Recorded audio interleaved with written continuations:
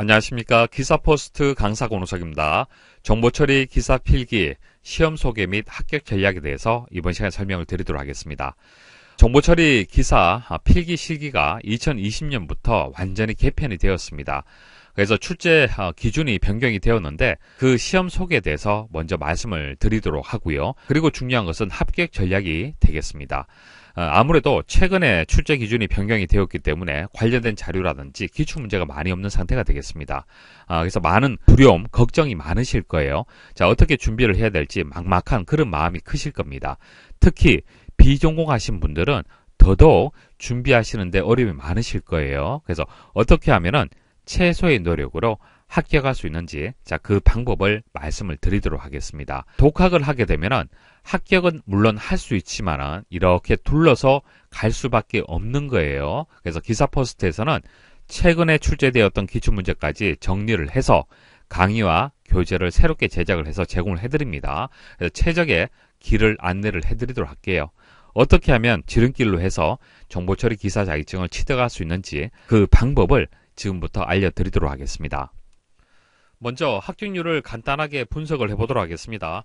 합격률을 분석하는 이유는 2022년 2회 시험을 예측을 하기 위해서 분석을 하는 겁니다.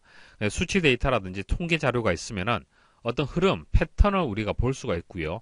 그 패턴을 분석을 잘하게 되면 다음을 예측을 할 수가 있어요.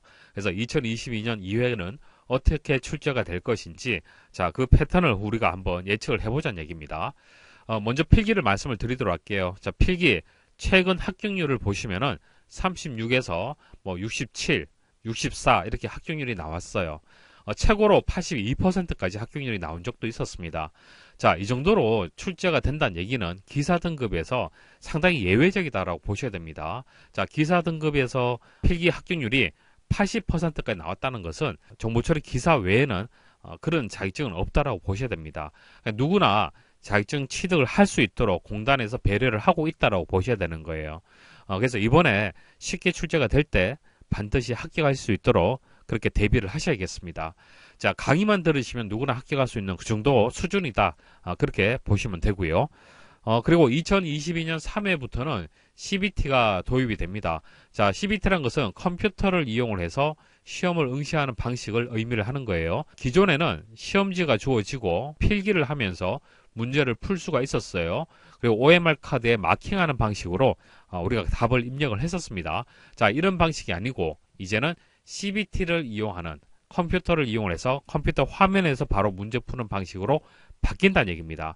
자, 아무래도 익숙하지가 않기 때문에 문제 푸는 데 있어서 좀 부담감이 더 느끼실 수가 있고요. 그리고 이후부터는 문제가 공개되지 않을 거예요.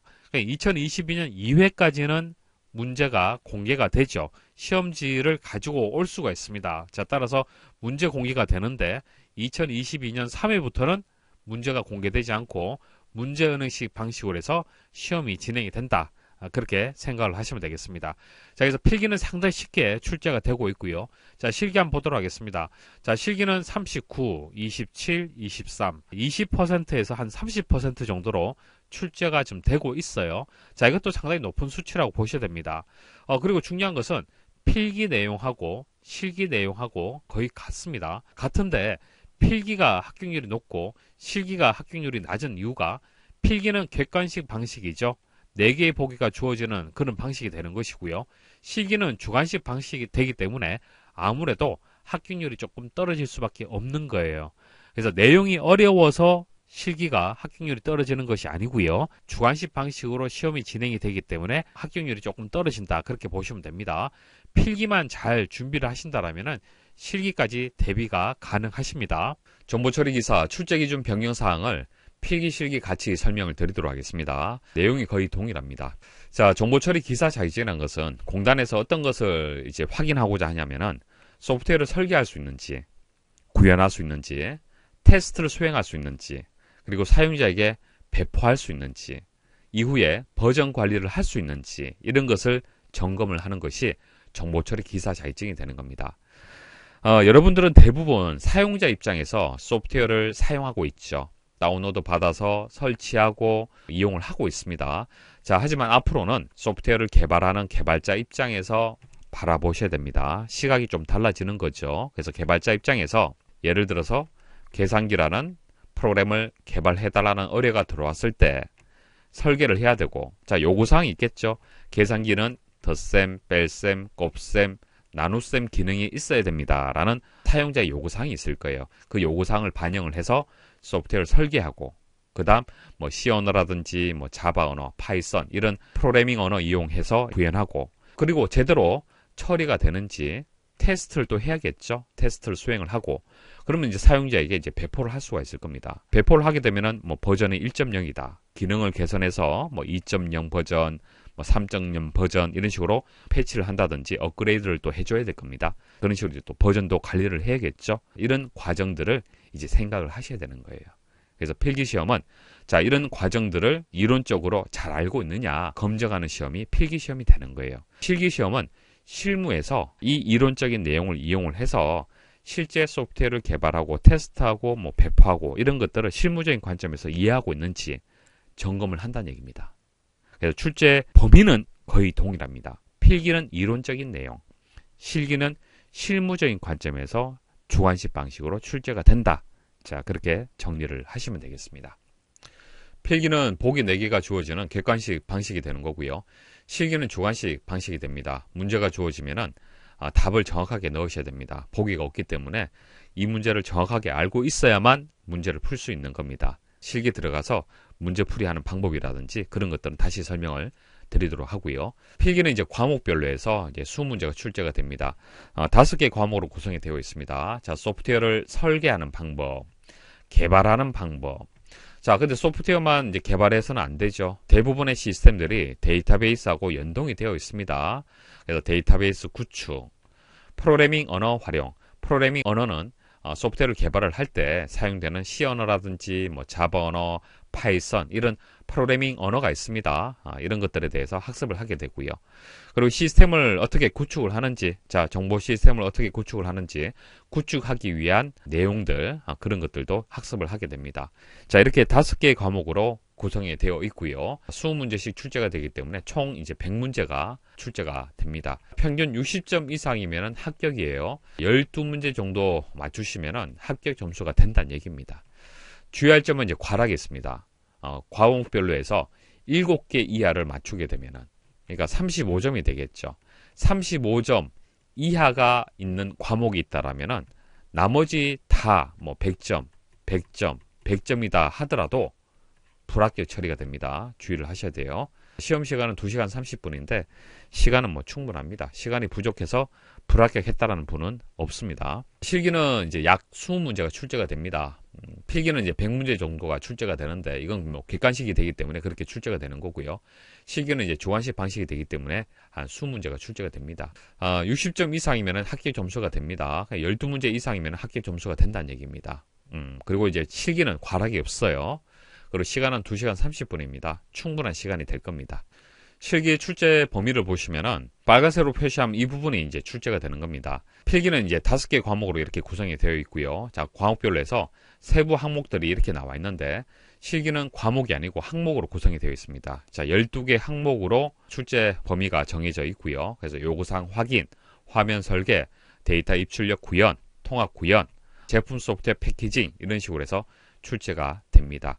그래서 필기 내용을 제대로 학습을 하게 되면은 실기 준비가 그렇게 어렵진 않습니다. 물론 주관식으로 출제가 되기 때문에 주관식 방식에 맞도록 학습을 해야 되는 부분은 있지만은 기본 바탕은 필기에서 배웠던 내용들이 기본적으로 출제가 됩니다. 아, 그래서 필기를 제대로 준비하는 것이 아주 중요하다 그렇게 말씀을 드릴 수가 있습니다. 그래서 필기 학습을 할 때 제대로 준비를 하셔야 돼요. 단순히 뭐 암기하고 지나가시는 것이 아니라 이해를 하면서 학습을 해야만 실기 준비하는 데 있어서 시간이 많이 어, 단축이 될 겁니다. 강의가 어떻게 진행이 되는지 설명을 좀 드리도록 하겠습니다. 어, 현재 어, 제 강의를 들으시는 분들이 물론 전공하신 분들도 계시겠지만 비전공하신 분들이 상당히 많으실 겁니다.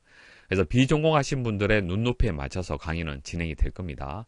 어, 그래서 전공하신 분들이 강의를 들으실 때는 어, 너무 기초적인 내용들도 설명을 한다라고 보실 수가 있는데 그런 내용들은 좀 skip을 하면서 강의를 따라오시면 되겠습니다. 비전공하신 분들을 대상으로 해서 강의를 진행을 하도록 하겠습니다. 그래서 소프트웨어를 이제 설계하는 어, 그런 과목에 대해서 설명을 드릴 때 바로 본론으로 들어가서 설명드리는 것이 아니라 소프트웨어 설계 과목이 무엇인지 자, 이 과목을 우리가 왜 학습을 해야 되는지 개념 설명을 먼저 드릴 거예요. 자, 소프트웨어 개발 절차가 요구사항을 확인하고 뭐 계산기 프로그램이라면은 덧셈, 뺄셈, 곱셈, 나눗셈 기능을 포함하는 계산기 프로그램 만들어 주십시오라는 요구사항이 있겠죠. 자, 요구사항을 확인하고 그럼 개발자가 이제 설계를 하겠죠. 구현하고 테스트하고 유지보수 단계로 이루어졌다는 얘기입니다. 그 중에서 소프트웨어 설계라는 과목은 요구사항 확인하고 설계하는 데까지가 내용이에요. 자, 이게 소프트웨어 설계 과목에 대한 세부 항목이 되는 겁니다. 이런 식으로 해서 전체 숲을 먼저 설명을 드릴 겁니다. 각 단계에 대해 설명을 드리면서 그리고 예시를 들어서 설명을 드리면서 여러분들이 왜 이 내용을 학습을 해야 되는지 단순히 암기하는 것이 아니라 필요성, 이유에 대해서 설명을 드리면서 그렇게 강의가 진행이 될 겁니다. 비전공하신 분들 눈높이에 맞춰서 그렇게 개념 설명을 드리도록 어, 그렇게 하도록 하고요. 자, 그리고 강의에서 컴퓨터 기초 용어부터 해서 자세히 설명을 드리도록 어, 노력을 하고 있습니다. 컴퓨터를 공부할 때 어렵다라고 느끼는 이유가 뭐 여러 가지가 있겠지만 그 중에서 용어에서 막혀서 어렵다라고 느낄 수 있을 수가 있어요. 자, 컴퓨터 용어가 대부분 영문, 약어 혹은 full name으로 되어 있습니다. 그래서 어렵다라고 느낄 수가 있어요. 예를 들어서 data warehouse라는 용어가 있는데 자, 기출된 적이 있습니다. 이 용어에 대한 정의를 설명을 하면서 또 데이터베이스에 대해서 또 나온다는 얘기예요. 그러니까 데이터베이스에 대해서 이해를 못 하는데 data warehouse를 이해할 수가 없겠죠.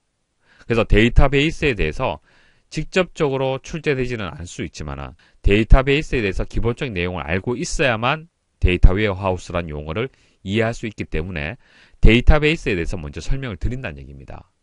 자, 이런 식으로 강의가 진행이 될 거예요. 컴퓨터가 어렵다라는 생각을 갖지 않도록 최대한 용어를 쉽게 설명을 드릴 수 있도록 그렇게 노력을 하도록 하겠습니다. 그래서 예를 들어서 뭐 시스템이 있다. 그럼 시스템이란 것이 뭐 여러 분야별로 해서 정의가 다 다를 수 있잖아요. 그죠? 그래서 컴퓨터에서는 어떻게 정의를 내리고 있는지 그리고 컴퓨터 시스템을 예를 들어서 하드웨어하고 뭐 소프트웨어로 구성이 되어 있고 하드웨어는 본체가 있고 뭐 주변 장치가 있다. 뭐 주변 장치에는 마우스, 키보드 이런 것들이 있다. 이런 식으로 해서 예를 들어서 설명드리면서 그렇게 강의를 진행을 하도록 하겠습니다. 사실 이런 내용들은 출제되지는 않습니다. 뭐 기사 수준에 맞지는 않죠. 하지만 이런 기초 내용들을 이해하고 있어야만 그 위에 있는 상위에 있는 개념들을 이해를 하실 수가 있는 거예요. 이 내용들이 출제가 되는 거잖아요. 그래서 이 내용을 이해하기 위해서는 그 아랫단에 있는 용어에 대해서 알고 있어야 됩니다. 비전공하신 분들이 강의를 듣는다라고 생각을 하고 기초부터 해서 용어 차근차근 설명을 드리도록 하겠습니다. 그리고 암기가 아니라 이해를 해서 응용할 수 있는 그런 능력을 키워드리도록 하겠습니다. 어, 암기를 하게 되면 그 문제는 맞출 수 있지만은 새로운 유형의 문제는 맞출 수가 없잖아요. 그죠? 그래서 이해를 기반으로 해서 문제를 풀 수 있도록 어, 그렇게 강의가 진행이 됩니다.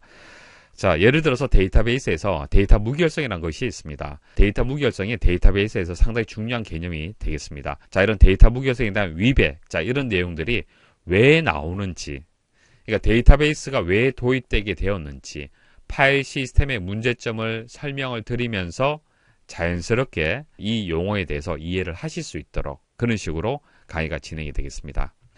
그리고 용어는 상당히 중요합니다. 필기 시험이든 실기 시험이든 용어를 중심으로 해서 출제가 됩니다. 그래서 용어를 잘 정리를 하셔야 돼요. 강의가 끝나면은 그 강의에서 다루었던 용어들이 있을 겁니다. 그런 용어들을 잘 정리를 해드릴게요. 여러분도 스스로 용어에 대해서 수시로 학습을 하실 수 있도록 시스템이라든지 자료집을 제공을 해드리겠습니다. 용어집, 자료집 제공해드리고요. 그리고 스마트폰이라든지 PC에서도 바로 화면상에서 문제를 풀 수 있도록 뭐 퀴즐렛이라든지 이런 프로그램들 어, 제공을 해드리겠습니다.